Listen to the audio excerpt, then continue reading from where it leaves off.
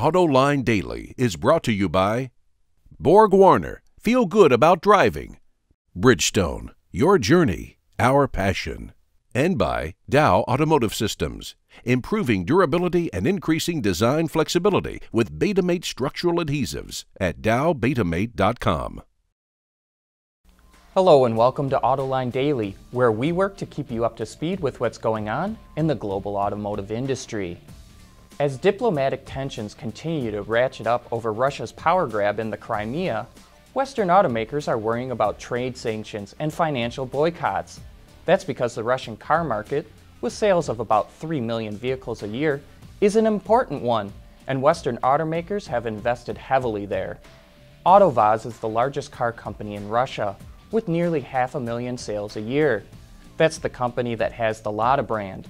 Renault owns about 25% of AutoVAZ, which is now run by Bo Andersson, the former head of purchasing for General Motors.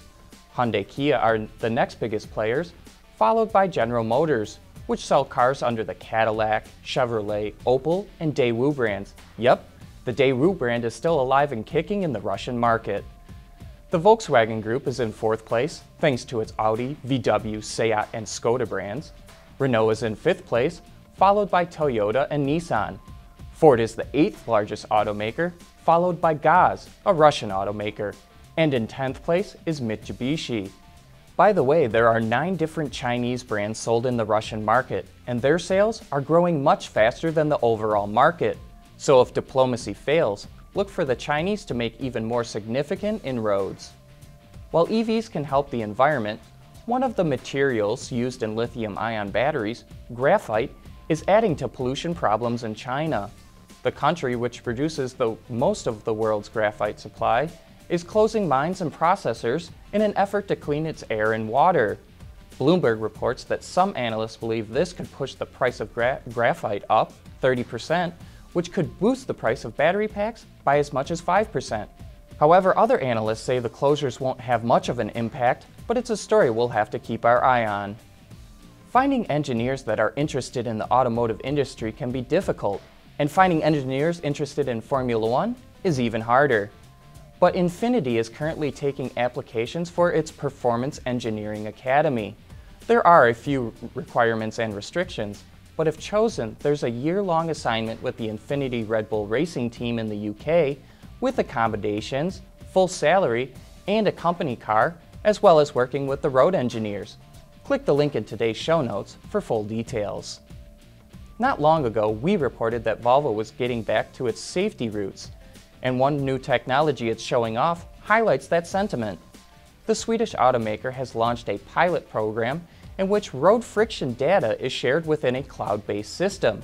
When a car detects a slippery or icy section of road, that information is transmitted to a database via the mobile phone network.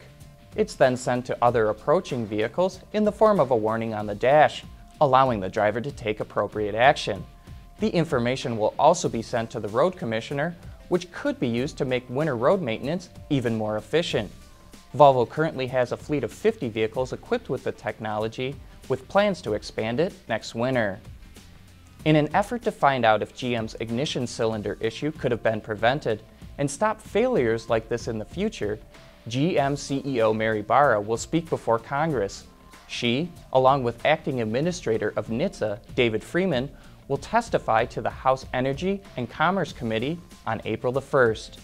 And in other GM and Ignition news, the automaker has recruited help from rental firms Enterprise, Hertz, and Avis just in case it runs out of loaner vehicles.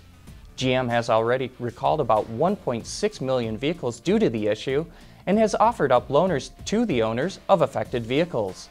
The agencies will shuttle active rental cars to nearby dealers if needed, and the automaker will foot the entire bill. Coming up next, a look at the new aluminum Ford F-150. Here's another great thing about the all-around performance of our Dueler tires. A comfortable, quiet ride. Oh. At Bridgestone, our passion for performance knows no bounds. On Autoline this week, the topic is all about the new aluminum-intensive Ford F-150.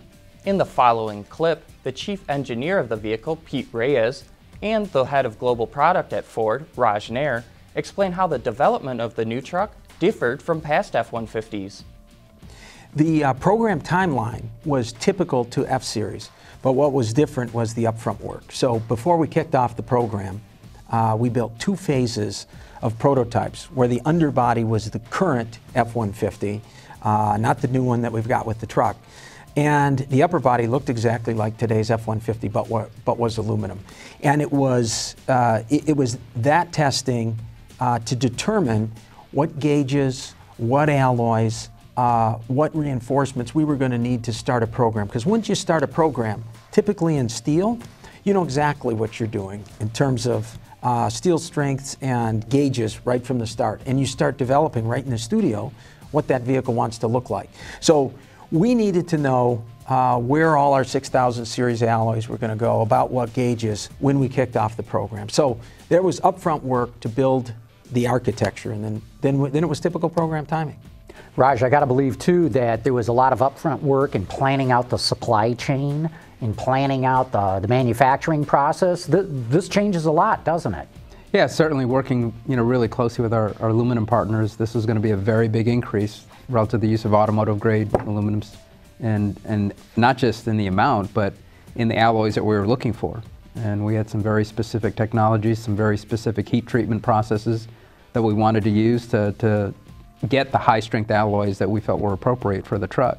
And so it was a really close partnership with our aluminum suppliers, both in terms of capacity, but also the technology uh, that we wanted to use in the truck, and, and that's gone very well for us. And uh, as you can see, there's a, they're getting a lot of calls now. They're getting a lot of calls, but uh, uh the aluminum producers have even told me it's going to take three years for them to put the capacity in place if Another competitor of Ford wants to do the same thing with their pickup, that there just is not that much capacity out there right now.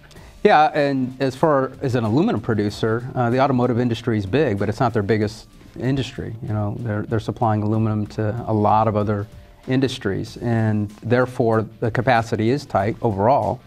And it was important for us to have a very early partnership with them, and, and that's why we were developing things early. We saw this trend coming in the industry. We saw the capabilities that we could do with aluminum alloys in high volumes, and we felt it was important to, to develop those partnerships early and get the capacity agreements in early.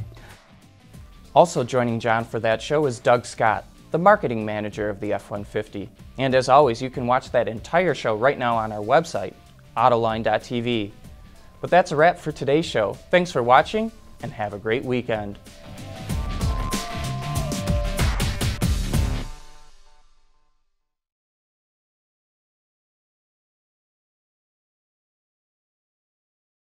Wards is the industry leader for news, data, and analysis. That's why companies across the globe subscribe to our premium service, maybe even your own. Log in for subscriber access now. Check your company's intranet for details and rely on wardsauto.com to keep you informed.